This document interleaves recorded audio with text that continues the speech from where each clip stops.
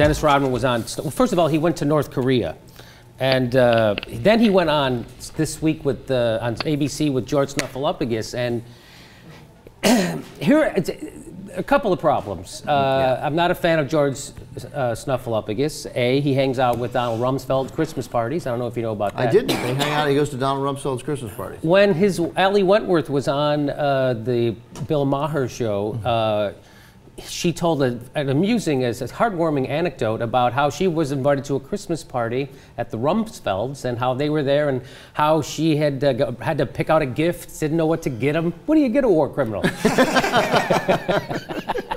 what do you get him? Here, here here's, a, here's a new battery. Yeah, you can right. hook it up to someone's genitals. Right. He's uh, right. When you've already plundered everything. Right. So, um, so anyway, so I, I have a problem with him by that. But but here he is. Uh, so Dennis Rodman goes to North Korea uh, because he's being paid by a media company to do a media stunt, and it works. And Kim Jong Un ends up at the game, and they end up hanging out. Yeah, they, go, they went to a Harlem Globetrotters game. Yeah. So it was revealing in one way is that hey, look, the Harlem Globetrotters are still around, sort of, although they're playing in North Korea. playing in North Korea. It's not, they don't get the best gigs. yeah, That's right. Yeah. yeah. They, well, they switch agency. you Not know? like the 70s. You go from CAA to APA, that's just going to happen. All of a sudden, you're in Pyongyang. okay. So here, uh, so here's George Snuffleupagus gets Dennis Rodman on the show. Good get. and uh, here is here, here is George Snuffleupagus pretending to be a hard-hitting journalist with somebody who can't hurt his social standing in Georgetown. You said you love Kim and think he's awesome. Were you aware of his threats to destroy the United States and, and his regime's horrendous record on human rights? But, but one thing about that, you know what? I didn't look at all that right there. I understand what he's doing. I don't condone that. I hate the fact that he's doing that, but the fact of it is that, you know what? That's a human being, though. He let his guards down. He did one thing to me. Been a friend. I didn't talk about that. Understand that. I understand that. Do you as think you have a responsibility to ask him about it so that you don't be perceived as sort of propping up his regime, his cult of personality? Does Dennis Rodman have a responsibility to ask questions of Dennis Rodman? This is George Snuffleupagus. And I said, you know, I, I like George was also, I was shocked that uh, Dennis Rodman's Korea trip went so badly. I thought he was perfect ambassador material. Yeah, totally. Yeah. Uh, yeah. uh, First of all, if he'd given any money to George Bush, of course, he would have been an ambassador. the uh, although, of course, Barack Obama does that as well. Yes, yes. The uh, uh, I, just like that. Like it's like George, uh, George George thinks that he's gotten the criticism from people like you, from Jews like you. You know what I mean? Yes. Um, and. Uh, who say that he's not tough enough in interviews, and this is his. Yeah. Oh yeah. Oh, watch Well, gonna- this. Watch me hammer Dennis Yeah. Rodman. Dennis, don't you think you have a responsibility to ask tougher questions? The only t- question, the toughest question I expect Dennis Rodman to ask is this North or South Korea? that would be the big question.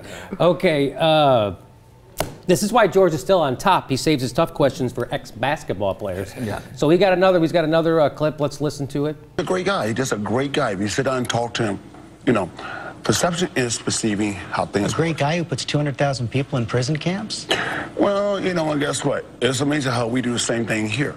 We have prison camps here in the United States? First of all, George, yes, we have prison camps here in the United States, but there's a law against calling them prison camps. I think they're just called prisons, where we where we imprison uh, black males at six to one ratio towards towards white males. So that would be, and you're telling that to a black guy. We imprison more people than China, and you're telling him why didn't he bust Kim Jong Un's balls? Are you kidding me? Why don't you bust somebody's balls here in America? I've never seen you do a segment on our overcrowded prison population and what leads the United States, the land of the free, to lock up more people than China. The uh, uh, black males, 35% of the jail population? Yes. Like five to eight times higher rate of incarceration Rates in in- the United States than like every other civilized, developed country in the world? Yes, and Right. he's George's like, duh. Are you? We have prison camps here, the man. We have an inequitable justice system right here at home that I'm not doing something about. I like it though that Dennis Rodman accidentally stumbled into an okay point. Yes. To go back? I'm gonna, yes, I am. I'm gonna go back, do one thing, and find out more what's really going on. Find out more. Okay, next time you go back, you should bring this uh, report from the Human Rights Watch with you and maybe ask him questions about that uh, as well. You might learn a lot more and it might press him as well. But thank you for coming on this morning and sharing your But impressions. either way, either way, guess what though? Here's the report. I, I like that how he said, hey, well, next time you go, give him this human right. Hey, next time you go to a Christmas party over over at Dennis Ru- Donald Rumsfeld's. Why don't you hand him this uh, human rights report on Abu Ghraib? Yeah. I don't know, Oh just God. for kicks. It might ruin your Sunday soiree. it, it might turn the gazpacho soup sour. Right, yeah, I, right. I didn't get you, uh, Ali and I didn't get you anything, but we do have this report from Amnesty International, which you, you might like to read over breakfast tomorrow. Turns out waterboarding's been considered torture for 1,400 years. I like that also the suggestion that our foreign policy is so fragile to North Korea that it could be undone by a two day trip of Dennis Rodman to Pyongyang. you never know. Right, yeah. I mean, what, what, what harm was possibly done by this trip? Well, what if the rest of the world uh, mistook Dennis Rodman for our new Secretary of State, John Kerry? Maybe that, that could happen. By the way, no question, John Kerry would wear that hat. no, no. Hey, hey, hey, hey, guess what? He probably would wear that hat. Guess what? Guess what? Guess what? Okay. So I don't know if, and next Sunday, I don't know, I, I've already have it set for TiVo. George is going to discuss Iran's nuclear capability with Omarosa and Mike the Situation. Oh, good. That'll be that'll be good. He'll hammer them too.